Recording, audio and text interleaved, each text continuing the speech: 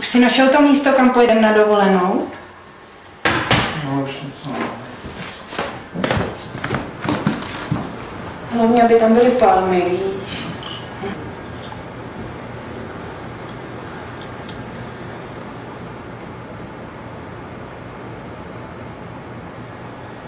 Objevilo se mi tam nějaký zahradnictví Majorka. Nemáš nějakou konkrétní představu? Prostě nějaký pěkný hotel. A hlavně, aby tam byly palmy.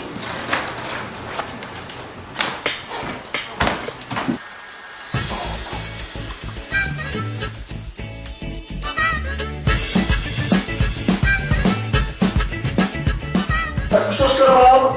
Dal jsem tam já můžu do 100 metrů.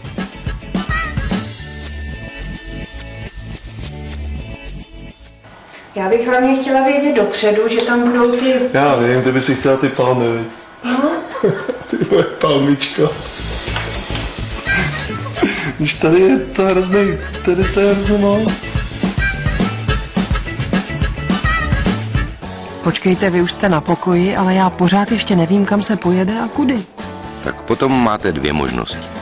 Buď si místo a ubytování zarezervujete na internetu v klidu doma a jedete na jisto, nebo jste dobrodruh a rozhodnete se naplánovat cíl, trasu i program až po cestě.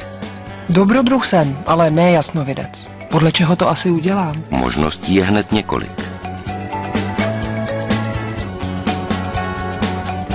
Jen prosím nás poradila byste nám, kde bychom tedy našli nějaké ubytování. Pojedete tady dolů z kopce a pak se dáte doprava.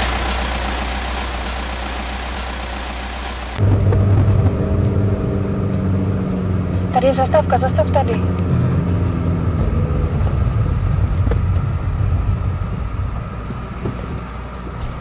A teď mi prosím tě řekni, kde tady budeme bydlet. No, koukej, hele, ukážu ti to. Hele, To je super.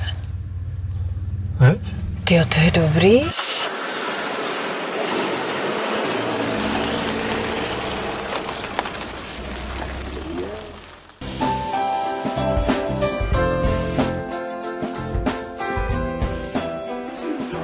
den, tak už ji máte tady.